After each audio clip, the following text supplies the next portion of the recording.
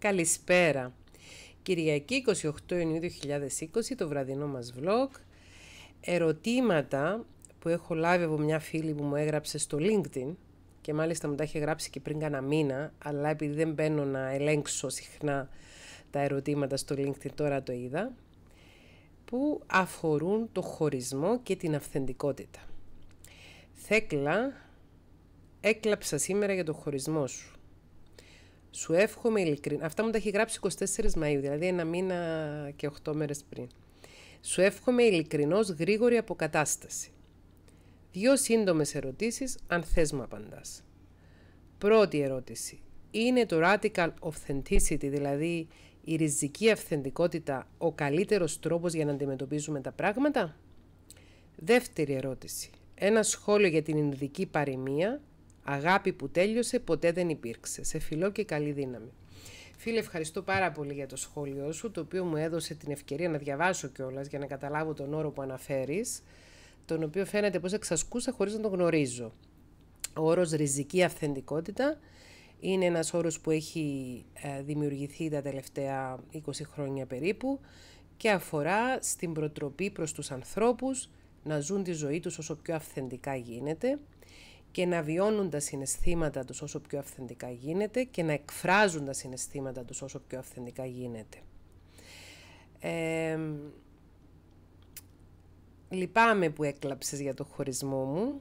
Ε, ε, συγγνώμη που θα σου το πω, αλλά ήταν η δική σου θέση να κλάψεις με την έννοια του ότι ε, ο δικός μου χωρισμός ήταν κάτι δικό μου. Αντιλαμβάνομαι το έκανες από ενσυναίσθηση, είπε αγάπη προς το πρόσωπο μου. Σε ευχαριστώ για αυτό, αλλά ε, όταν συμβαίνει κάτι σε κάποιον άλλον άνθρωπο, όπως ένας χωρισμός, ε, δεν μπορούμε εμείς που είμαστε απ' έξω να επομισθούμε το βάρος το συναισθηματικό. Το βάρος το συναισθηματικό αναλογεί στους ανθρώπους οι οποίοι ήταν πρωταγωνιστές και στο γάμο αλλά και στο χωρισμό.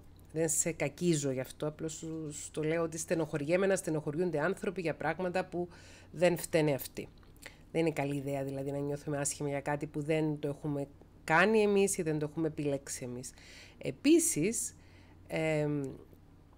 θέλω να το πω και τώρα ίσως είναι και πιο έγκυρο που το λέω ένα μήνα μετά που έχεις γράψει το μήνυμα, ότι οτιδήποτε μας στενοχωρεί σήμερα μπορεί αύριο να το θεωρούμε ευλογία.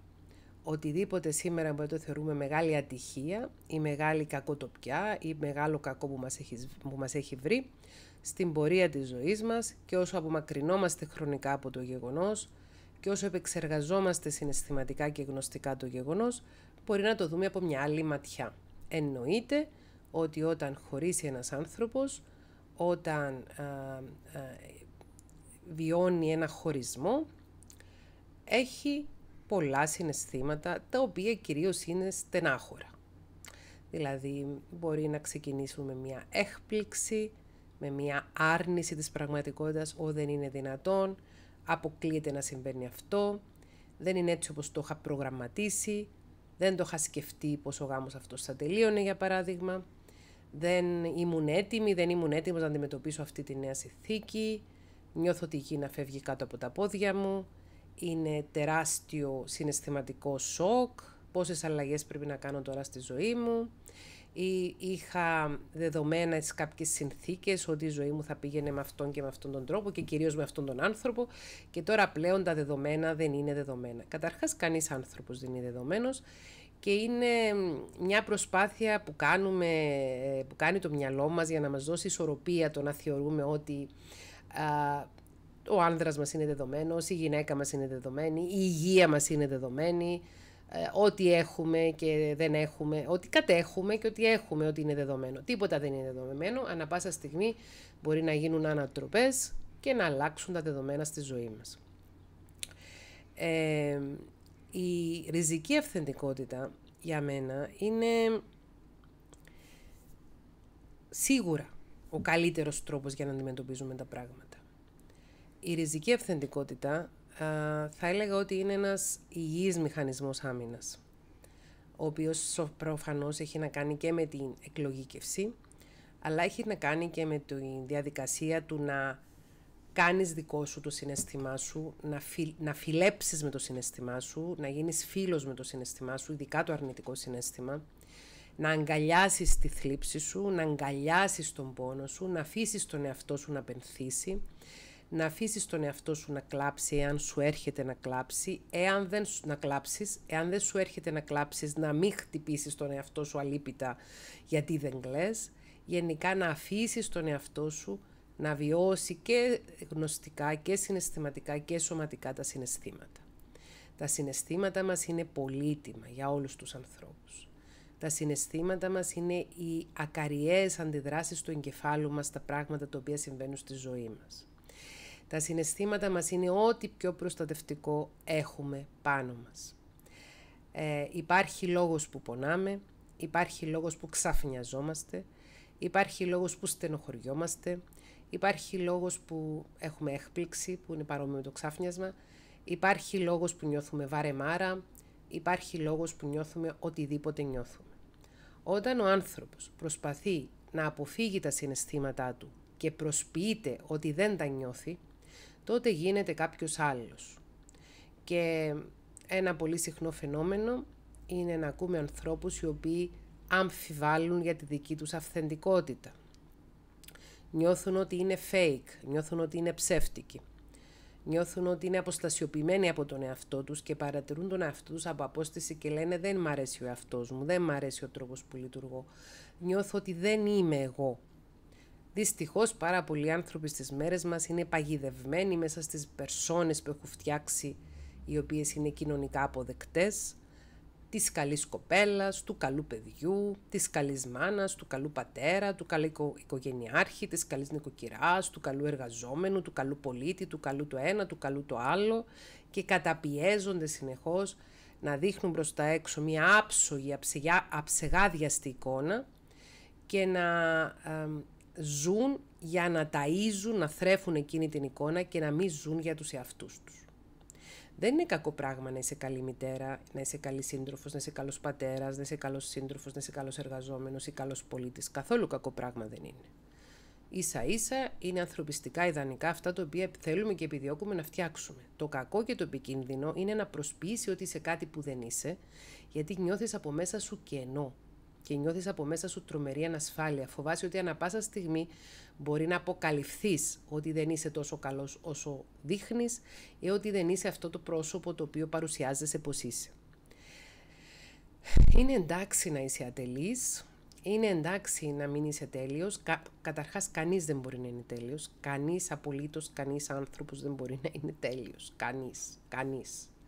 Είναι ε, ίδιον της ανθρώπινης φύσης η ατέλεια η οποία ατέλεια για μένα είναι και το πιο εγωτευτικό πράγμα που έχουμε πάνω μας εμείς οι άνθρωποι και το ισχυρότερο κίνητρο για ζωή και δράση, γιατί όσο είμαστε ατελείς, που θα είμαστε για πάντα ατελείς, έχουμε κινητοποίηση για να γινόμαστε καλύτεροι, για να ζούμε, για να μαθαίνουμε, για να γευόμαστε τη ζωή, για να επεξεργαζόμαστε τα συναισθήματα μας, να επεξεργαζόμαστε τη σκέψη μας, να μαθαίνουμε τον εαυτό μας, να μαθαίνουμε τους άλλους, να γινόμαστε όλο και σοφότεροι. Σοφός μπορείς να γίνεις, τέλειος δεν μπορείς να γίνεις και το, το φτάσιμο της σοφίας, η τελειότητα, αν μπορεί κάποιος να την πει, ε, ονομάσει έτσι, χαριστικά είναι το σοκρατικό «εν είδα ότι ουδέν είδα». Ένα πράγμα γνωρίζω ότι δεν γνωρίζω τίποτα. Διότι όσο πιο σοφός γίνεται ο άνθρωπος, καταλαβαίνει ότι δεν γνωρίζει πολλά πράγματα, καταλαβαίνει ότι δεν μπορεί να ελέγξει τα πάντα και ενδεχομένως δεν μπορεί να έχει μια τέλεια εικόνα προς τα έξω και μπορεί αυτός ο άνθρωπος επιτέλους να απελευθερωθεί από τη μεγάλη πίεση που καταβάλει ο ίδιος τον εαυτό του ή που αφήνει την κοινωνία να του επιβάλλει, ώστε να λειτουργεί κομιλφό καθώς πρέπει, να είναι καθώς πρέπει, να είναι σωστός, να είναι ε, τέλειος, να είναι ιδανικός, να είναι ε, υπεράνω, να είναι ανώτερος άνθρωπος, να μην δείχνει αδυναμία, να μην δείχνει φόβο, να μην δείχνει ευαλωτότητα. Ο μεγαλύτερος φόβος των ανθρώπων που προτιμούν να ζουν τη ζωή τους πίσω από μια βιτρίνα είναι μην τυχόν και εκτεθούν και είναι ευάλωτοι στην κακία των άλλων. Και με αυτόν τον τρόπο βάζοντας μια μάσκα ή πολλές μάσκες πάνω από το πρόσωπο τους, ε, μπορεί να μην είναι ευάλωτοι στην κακία των άλλων, αλλά είναι εντελώς ευάλωτοι στη δική τους αυτολύπηση, αυτομιζέρια και αυτό που λέμε στα αγγλικά self-loathing, το μίσος προς τον ίδιο τους τον εαυτό. Δεν μπορούμε να αγαπήσουμε τον εαυτό μας άμα δεν τον αποδεχόμαστε όπως είναι. Άμα δεν αποδεχόμαστε και τις αδυναμίες μας, άμα δεν αποδεχόμαστε και τις δύσκολες στιγμές μας, άμα δεν αποδεχόμαστε και τα γεγονότα τα οποία δεν μας τιμούν, δεν είναι πράγματα για τα οποία να το πενευτούμε, αλλά μας συμβαίνουν. Για παράδειγμα, μπορεί να μας συμβεί να μας απατήσει ο άντρας μας, μπορεί να μας συμβεί να μας απατήσει η γυναίκα μας, μπορεί να μας συμβεί να απολυθούμε από τη δουλειά μας, μπορεί να μας συμβεί να μην έχουμε καλή σχέση με κάποιο από τα παιδιά μας, μπορεί να μας συμβεί να μην έχουμε καλές σχέσεις με τα αδέρφια μας. Μπορεί να μας συμβούν πάρα πολλά πράγματα τα οποία, για τα οποία συνήθως ντρέπονται οι άνθρωποι να μιλήσουν ανοιχτά για αυτά και να πούν απέτυχα απέτυχα στην προσπάθεια μου να έχω μια υγιή σχέση με τα παιδιά μου ή απέτυχα στην προσπάθεια μου να έχω ένα γάμο που να κρατήσει πολύ καιρό ή απέτυχα στην προσπάθεια μου να κάνω το ένα, να κάνω το δίνα, να κάνω το άλλο. Όλα αυτά, όλα αυτά είναι ε, ε, κλουβιά μέσα στο οποία βάζουμε ήδη τον εαυτό μας και μα βασανιζόμαστε πολύ περισσότερο από το να περάσουμε την απλή δύσκολη στιγμή που θα πεις ναι ρε παιδιά, ε, δεν τα κατάφερα σε αυτό που προσπάθησα. Παρακάτω. Είμαστε άνθρωποι και είναι φυσικό να κάνουμε λάθη και να κάνουμε και λάθος εκτιμήσεις. Και πάμε τώρα στη δεύτερη σου, στο δεύτερο σου ερώτημα για αυτήν την ανδική παροιμία την οποία δεν τη γνωρίζω, εσύ σίγουρα τη γνωρίζεις για να τη γράφεις. Ε, αγάπη που τελείωσε ποτέ δεν υπήρξε. Δεν, ε, δεν συμφωνώ με αυτή την παροιμία ως μια δυτική γυναίκα και ε, ψυχολόγος ε, που σε κάποια φάση είχα μελετήσει και λίγο την ειδική φιλοσοφία εξαφορμής του Κάμα Σούτρα, το οποίο είναι ένα βιβλίο που λανθασμένα στην, ε, στη δυτική, σε δυτικές κοινωνίες θεωρούμε ότι είναι ένα βιβλίο το οποίο δείχνει μόνο κάποιες τάσεις και τίποτα άλλο. Στην πραγματικότητα όμως, επειδή έχω διαβάσει την, ε, τη μετάφραση από το αρχαίο ειδικό πρωτότυπο, πρόκειται για ένα βιβλίο που αφορά περισσότερο κοινωνική ηθική της αρχαίας Ινδίας και τον τρόπο με τον οποίο βλέπει τον άνδρα, τη γυναίκα, τον έρωτα, το γάμο, η κοινωνία και έχει μέσα πάρα πολλά κομιλφό πράγματα, απόψεις για το πώς πρέπει να λειτουργούν οι άνθρωποι κλπ. κλπ. Ε, θεωρώ ότι η, ο, ο τρόπος σκέψης που έρχεται από εκείνη τη χώρα είναι ένας τρόπος ανατολικός που είναι διαφορετικός από το δυτικό τρόπο με τον οποίο σκεφτόμαστε εμείς. Χωρίς να σημαίνει τον υποτιμώ αυτόν τον τρόπο σκέψης σε καμία περίπτωση, αλλά σου λέω ξεκάθαρο ότι επειδή εγώ είμαι μια γυναίκα που έχω γεννηθεί σε μια δυτική κοινωνία και έχω μορφωθεί σε μια δυτική επιστήμη όπως είναι η ψυχολογία, διαφωνώ με, αυτή, με, διαφωνώ με το σκεπτικό αυτή της παροιμίας, ότι η αγάπη που τελείωσε δεν υπήρξε ποτέ. Ε, Διαφωνώ. Επειδή η αγάπη δεν είναι μετρήσιμη. Και η αγάπη δεν είναι δεδομένη. Ερωτική αγάπη, ερωτική αγάπη δημιουργείται όταν δύο άνθρωποι οι οποίοι έχουν έντονη ερωτική έλξη και είναι ερωτευμένοι μεταξύ τους, δημιουργήσουν μια σχέση ζωής, είτε αυτό λέγεται συγκατοίκηση, είτε αυτό λέγεται γάμος, είτε αυτό λέγεται σύμφωνο συμβίωσης, είτε αυτό λέγεται σοβαρή σχέση, δεν ξέρω πώς το ονομάζει ο καθένας, και επενδύουν συναισθηματικά σε αυτή τη σχέση προσπαθώντας και η σχέση τους να γίνεται καλύτερη και ο καθένας ξεχωριστά να γίνεται καλύτερος και ο ένας να βοηθάει τον άλλο. Η αερωτική αγάπη μπορεί να έχει διακυμάνσεις. Μπορεί να σε κάποιες φάσεις να είναι πολύ έντονη και πολύ υψηλή και σε κάποιες άλλες φάσεις να είναι πιο άτονη. Η ερωτική αγάπη εξαρτάται πάρα πολύ από την ψυχική και συναισθηματική κατάσταση του ανθρώπου που τη βιώνει. Ένας άνθρωπος ο οποίος έχει άλυτες ενδοψυχικές συγκρούσεις, ένας άνθρωπος ο οποίος έχει πολλά αποθυμένα τα οποία ακόμη δεν έχει διαχειριστεί, είναι πάρα πολύ πιθανόν να έχει μεταπτώσεις στο συνέστημα της ερωτικής αγάπης, δηλαδή να έχει περιόδους τις οποίες να είναι τρομερά ερωτευμένος, τρομερά ερωτευμένη και να νιώθει μια έντονη ερωτική αγάπη και να εξειδανικεύει τον την ε, σύντροφο ή το αντικείμενο της αγάπης του συντρόφου, ε, της αγάπης που είναι ο σύντροφος και ε, περιόδους τις οποίες να το απομυθοποιεί τελείως και να το βλέπει πολύ αρνητικά.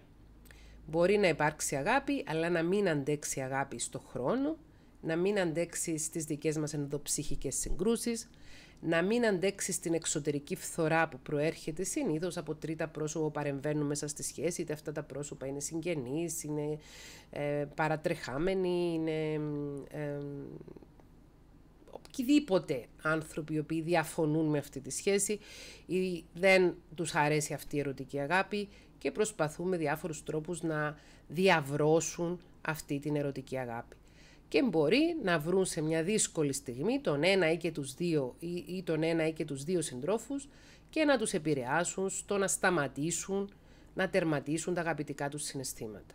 Η αγάπη δεν είναι αιώνια η ερωτική αγάπη. Η ερωτική αγάπη μπορεί να καλλιεργηθεί και με πάρα πολύ κόπο να διατηρηθεί, δεν είναι όμως αιώνια.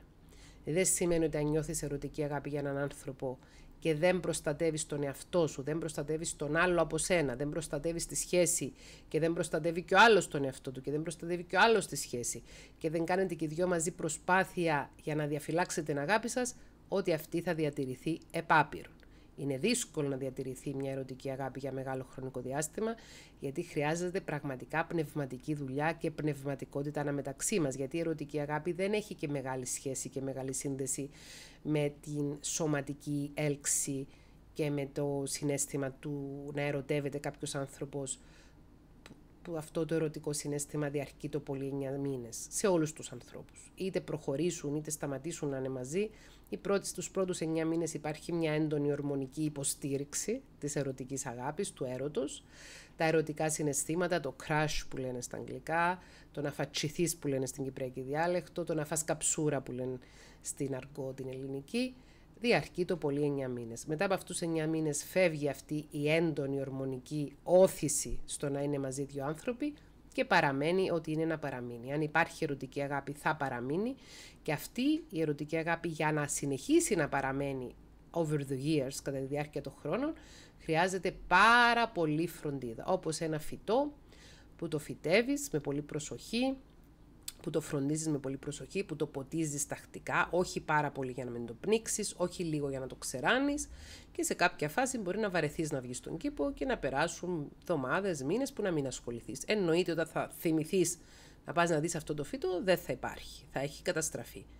Η αγάπη η ερωτική χρειάζεται συνεχή φροντίδα και από τα δύο μέρη που την απαρτίσουν.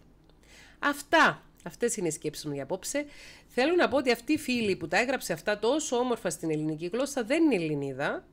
Έχει μάθει την ελληνική γλώσσα ως δεύτερη γλώσσα και μάλιστα μου έχει γράψει κιόλας ότι έχει βαφτιστεί Ορθόδοξη Χριστιανή προφανώς μετά το γάμο της και ότι η ίδια ε, βιώνει τα συναισθήματα της ελευθερίας της επιλογής της θρησκείας με ένα πολύ έντονο τρόπο και μου έγραψε μάλιστα σε μια επόμενη επικοινωνία που είχαμε ότι βλέπει τον εαυτό της η οποία έγινε Ορθόδοξη ενήλικας, Χριστιανή Ορθόδοξη ενήλικας και βλέπει και τα παιδιά στα οποία βαφτίστηκαν από μωρά Χριστιανή Ορθόδοξη ότι η ίδια που το επέλεξε με δική της πρωτοβουλία ότι το βιώνει με ένα διαφορετικό τρόπο. Συγχαρητήρια και για την άρεστη χρήση της ελληνικής γλώσσας.